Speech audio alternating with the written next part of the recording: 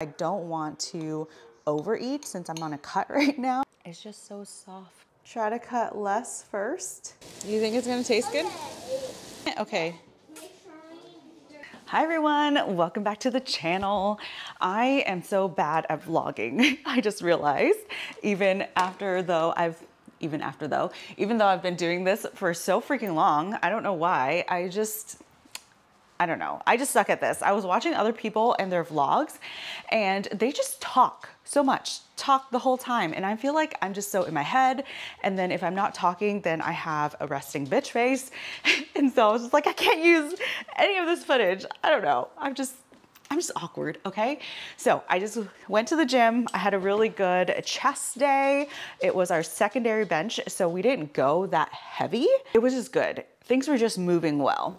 If you guys don't know, training for strength is a little bit different than training for hypertrophy, just meaning that you're trying to grow muscle. When an exercise slows down, you are eliciting, eliciting more muscle growth, but strength adaptations are not as good because there's a trade-off in terms of like feeling overly tired, AKA fatigue. But yeah, so I'm gonna show you what I do. Whoa, Sorry, everything is so dirty, blah. Don't judge me, this is gross. I will clean this, oh, I'll clean this now. It's kind of disgusting. And there's nothing in here. Ugh. Now I have to go all the way upstairs. you could come with me while I talk about this. What was I gonna say? And people are always like, I don't wanna get any bigger. Oh, you're too bulky. Ultimately, that comes down to your nutrition in terms of like gaining mass. But for me, it's like I don't need to get any bigger and I want to get as strong as possible, as fast as possible.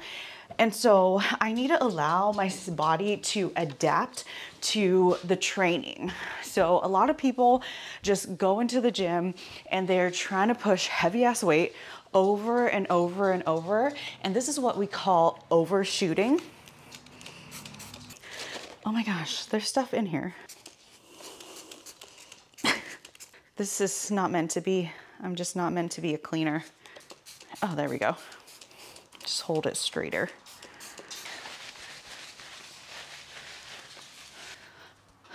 Okay, that's good. Anyways, what I was saying, people tend to overshoot because getting those like PRs and lifting heavier weights, that all feels really good. But at the same time, when you constantly try to increase the weight and the velocity in which you're pushing is slowing down, then you're you might not be you might not be a what oh my words. I drank enough caffeine today. You might not be a, you're not allowing yourself. There you go. That's Oh my gosh. You're not allowing your body to adapt to the new stimulus in order for you to have the strength gains because the muscle that you have in itself, there's two different things. Like you can get bigger, bigger muscle versus more neural recruitment so that same muscle size can push more weight. It was really hard going from a beginner lifter into going into being an intermediate lifter where I was just like, okay, I can't be adding weight all the time. I just need to slow down and just try to focus on acceleration. So that's the biggest difference, I feel like. Instead of always adding weight, I'm just like, okay, how do I lift this better with better form and faster? Like, I don't want it to be a grinder. Like, yes, that's cool that I can grind things out, but I don't want it to have to be like that. This is a post-workout meal. This is super easy to do. I actually just put this in the microwave and I forgot what it's called in Korean, but it's like steamed egg, Korean steamed egg. Maybe I'll just do the usual 300. 329. And I actually wanted to see if this was accurate because ew, don't look at this. This is so dirty. But this is the one I usually use at home. And I was gonna use this to travel because it closes like this and I could like put it in my pocket.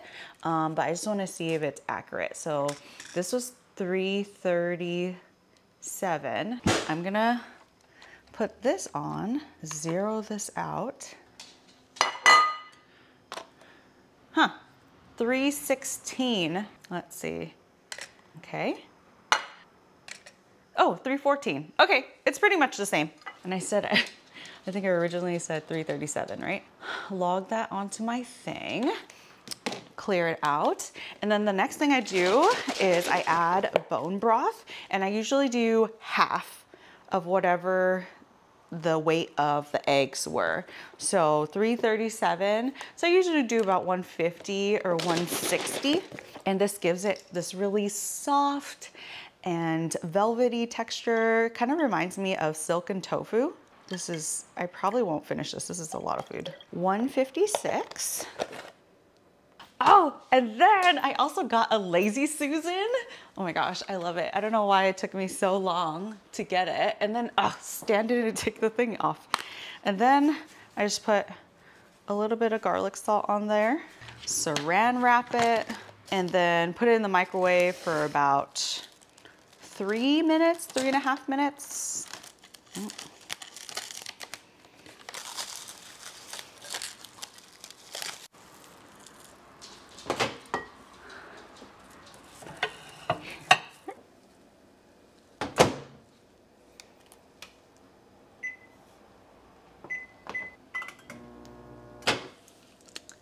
And then this is what it looks like. I tend to like jiggle it a little bit. This looks like it's still too liquidy.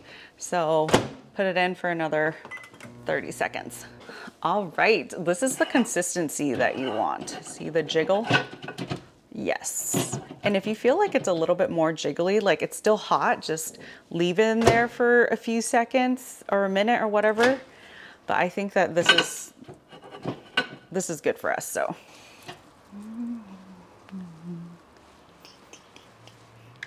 Oh, I had to jiggle it for a second to see if like this is the consistency I want. Usually I eat this like every single day for lunch just because it's so easy. Like as you saw, literally just in the microwave for a few minutes.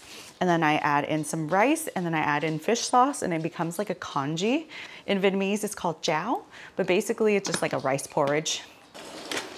I have leftover vegetable curry. I should have added more cabbage to this. It looks like more curry and less vegetables because I, I ate all the vegetables. So this is not as flavorful, you know, like there's a little bit of gar garlic salt in here, but it's not like bursting with flavor.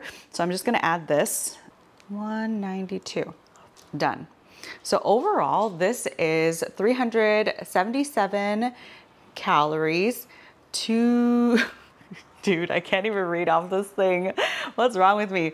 377 calories, 26.5 grams of carbs, 42.5 protein, and 6.7 fat. Yeah, not bad. And this is huge. Like, this is four cups of food. Let's take a picture of this because people are asking like what I be eating and stuff. Looks, why can't I take a good picture of this? That's ugly. Damn it! Why? It looks so much better here. Okay, maybe if I do one of these light things. Mm, mm. Nope. Nope. Just not good at taking pictures. Oh God. it's so ugly. This is why I can't be one of those Instagram foodies. I don't know how to take pictures. I guess that's better. So I'm just gonna eat this. We're gonna take a shower. So look at this. This is the tofu, or not tofu. It has tofu consistency, but this is the egg whites. I love it so much. I can eat this forever. I have been for months. It's just so soft. Easy to eat, digestible. tasted better when I had cabbage. I'm too lazy to boil cabbage right now. Okay, I just got out of the shower. These bangs, so recently, so I feel like these bangs have influenced so many of you guys to get bangs and they're getting longer. So I wanna show you how I trim them. What I do is you kind of want to have like a V taper. So I go from here and I go all the way towards the top of my ears, or at least that's what my mom does. And she's a hairstylist, so don't come at me if this is wrong. Proceed at your own risk. And then let me just clip this part up. Okay. So the sides are more for just blending. You see how I did a really bad job at blending this side? But the front right here is a little bit too long. So what I do, these are my scissors. Don't ask me where I got them because my mom got them for me. I'm pretty sure they're hair scissors. they're professional hair scissors, okay? As you can see, I'm only taking like the middle part of my hair and I'm gonna try to cut this part first. And you know how your head is like a dome? Because then if you cut it this way, then all the hairs are gonna fall here and it's gonna be a super blunt cut across. If you hold it up here at a 90 degree angle, the hairs that are on top here are gonna fall a little bit lower than the hairs that are on the bottom here are gonna be a little bit longer. Does that make sense? Just because of the way your head is shaped. So less is more. Try to cut less first, and then you can always do more after. So here, that feels like it's a lot.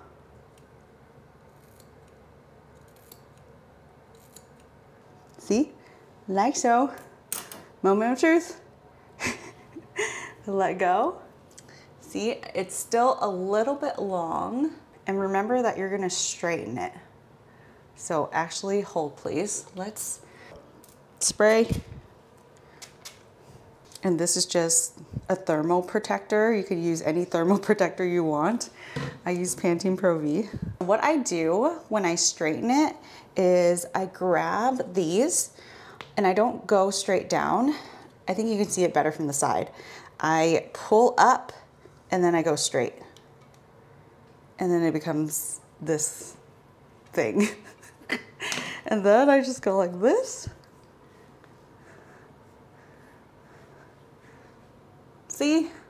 And then anything that is kind of um, too long, sticking out like this, then I would go in and um, grab these guys and kind of cut at an angle. And it's probably better not to like pull on your hair when you do it. Remember that your hair, if you pull on it, it's gonna spring back up and then it's gonna be too low. And anywhere that I feel like this, if it's too chunky right there, then I'll go in and kind of cut upwards a little bit. And that's it. I know some people like just like to go straight across and then start um, debulking like this, but like I like how when I pull it up, there's already some layering in there. Then when I put my hair down, it just looks like this. And that is how I trim up my bangs. So this is how I wear my hair most of the time now. I have these claw, claw clips. I can link the ones that I got. They're just like from Amazon. And then I go have my hair like this, circle and up.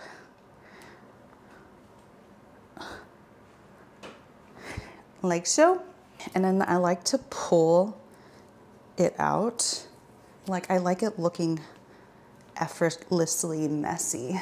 So yeah, let me know if you have any questions. Maybe I could ask my mom when I go home to see her. Um, but yeah, this is this is how I trim my bangs myself. And as you can see, it was like super fast. So tag me if you cut your bangs. And I really wanna see because bangs are in now. I feel like everybody's getting them. And they're so cute. Okay, we're about to have meal number two.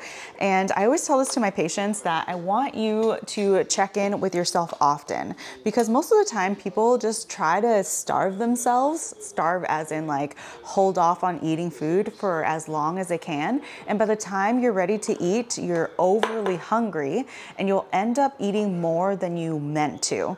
This is more on a subconscious level. So people are always thinking that I'm blaming them for eating too much. No, this is not because of you, babes. This is your genetics, your psychological reptilian brain. So I'm not saying it's your fault. I'm just saying that this is a normal body response. So right now I'm not hungry and I can probably wait for another hour to eat, but I feel like I'm getting there. And so I don't want to overeat since I'm on a cut right now. So I'm just gonna add some rice into this bowl that I did not, this Tupperware that I did not wash from earlier. I'm gonna heat this up. Oh, we're out of cheese.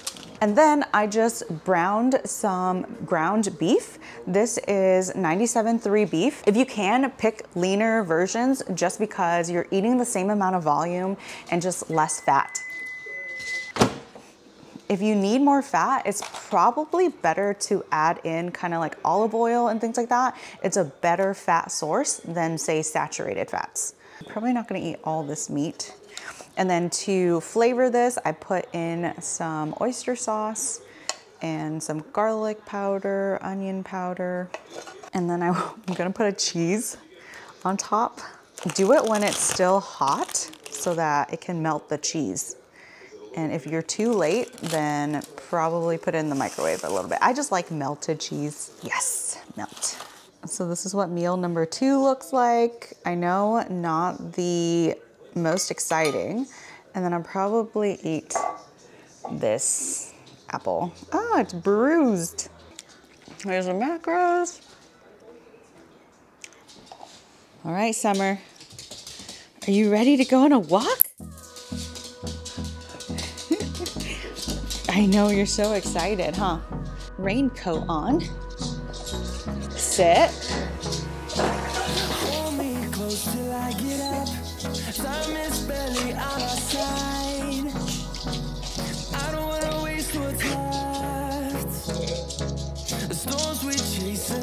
Her, um, good girl.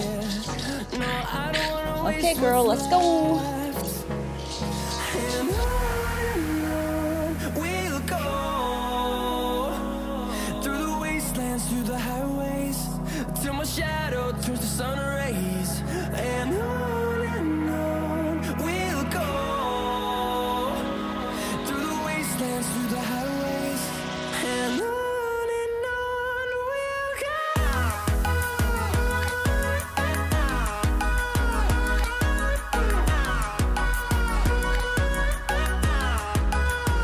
Just got back to walking summer and it was so funny because Stan was going on his way out to get groceries when I was walking summer. And then right when I was coming out, I see this dad running with a dog and a stroller and with like this covering over the stroller.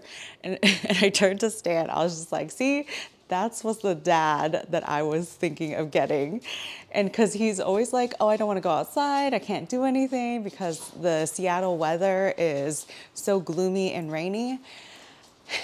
And it comes to a certain point where it's like you're making up excuses for not doing things. Like there are plenty of people here who live in the Pacific Northwest who do lots of things, who go outdoors, and we live in the same environment. So you don't want to do things, so you make excuses that you don't, like you can't, right? But you can, you technically can. You just need to get the right equipment to go. I love listening to audiobooks. You guys already know that. I'm listening to The Courage to be Disliked. Look, I actually like take notes.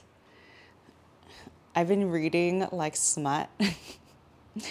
um, basically romance rom-com because it helps me like escape from reality and it just makes me feel I don't know, happy. Anyways, um, I used to be on like this mental health, self-help books and all these things and I haven't listened to anything in a while because I felt like a lot of them just like repeated themselves over and over again. So it's actually been a while that I've had a mental health book that I've been like, this is, this changes a lot of things. This makes things click. Like I understand life now. It changes my worldview and it takes the rose colored glasses off. Does it make sense? Like, does any book ever like change your perspective on life? I feel like the this is one of those books. If you have any book recommendations, do let me know. I love reading books and listening to audiobooks.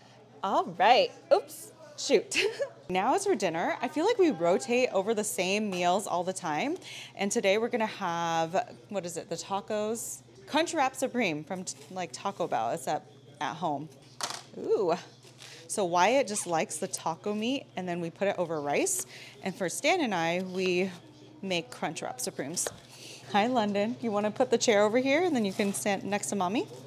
These are called your aromatics. You learn how to cut at school? Yeah. I only do sh not sharp knives at my school. Then how do you cut it if it's a not sharp knife? It says that uh, on the bottom it's too sharp, so I won't touch the bottom. Oh, okay. So, so I only touched the top of it because the top of it was not spicy. So I, the only thing I can't touch is the knife on the bottom. I'm gonna put my chair right here. So you. Sorry, you might not hear me because the fan is in the background, but we got to turn on the fan because we have a gas stove. And whenever you turn on this gas, it emits all these bad things that is bad for the lungs, okay? And then you drizzle a little bit of olive oil or avocado oil in. Made like one drop of it. oh, definitely not one drop of it. Okay, I'm not touching the. Okay. Literally, I get cut off my whole hand. Here, you can mix this around. Definitely going to come like this. Okay. It's too hard for me. It's not hard for you. You got it. Oh. There you go. Keep going. I don't know how to stir. Yeah, you can stir like this. Yeah, but not pro at stirring. Yeah, well, nobody starts out being a pro. You just got to practice. That's how you become a pro. Yeah, but when I practice, I always mess up. It's okay. That's the whole point. You mess up so you can learn. If you don't mess up, then you're never going to learn. Yeah, we put our garlic. I don't know about you guys, but I feel like I'm going to go broke feeding three boys. We oh. have two and a half pounds of extra lean beef, 97.3. Mash that thing up. Mom, is that the oyster sauce? Yeah, that's the oyster sauce. So instead of just putting it in, I like to put the salt in my hand, and then I like to pinch it and put it in. Go ahead.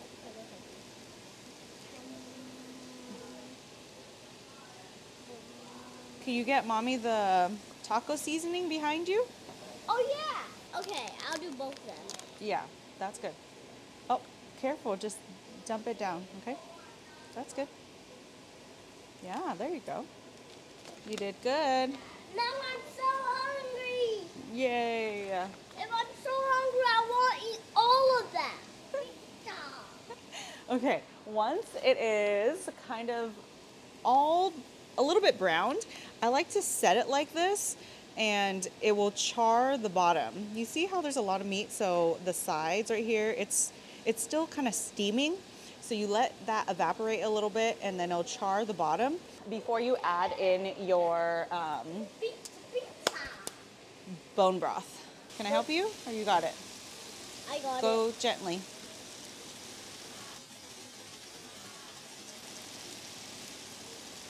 Thank you. So the great thing about like prepping all this meat is that you can save it for later. You know how I said like we're making Crunchwrap Supremes. You can make burritos, you can make stir fry. You can make taco meat. you, you can change up the vegetables that you're eating with the meat or add that cheese on top like I was talking about earlier. So there's lots of different varieties that you can do. You just have to make a ton of meat. So that's what I do. Don't prep your meals, just prep your ingredients. So this is what Wyatt will eat. Rice, taco meat, and a side of veggies. Yes, I love taco. You want to try it. Mmm. Oh, cool. These are a little bit smaller than what we usually do. Um, these are the carb balance ones. Each one of these is 70 calories. The extreme ones, I think those are 50 calories, so not that much of a difference. I mean, if you're gonna eat a million of them, then maybe it's gonna add up, but either way, both are good. This is white flour. Basically, you go like this.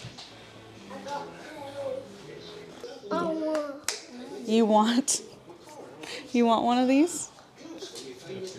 Okay, here you go. hello. I got a beard. Ooh, yes. Ooh, yes, that will work. Crispy, hot. oh yeah, this is not gonna fit. Is it gonna work? Okay, no deal. This is not gonna work. So what you're gonna do is you're gonna crunch this up. And then you're gonna roll it like Chipotle, how Chipotle rolls rolls your burritos. And this burrito is 250 calories. Mmm. Daddy? Mm. I didn't know.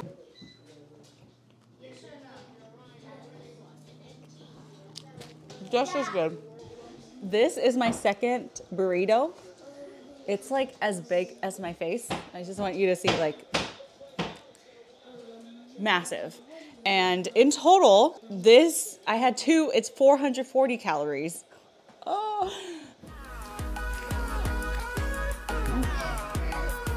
And that's everything I ate today in a calorie deficit, just ending my night with some journaling. Let me know what you guys want to see next week. Peace.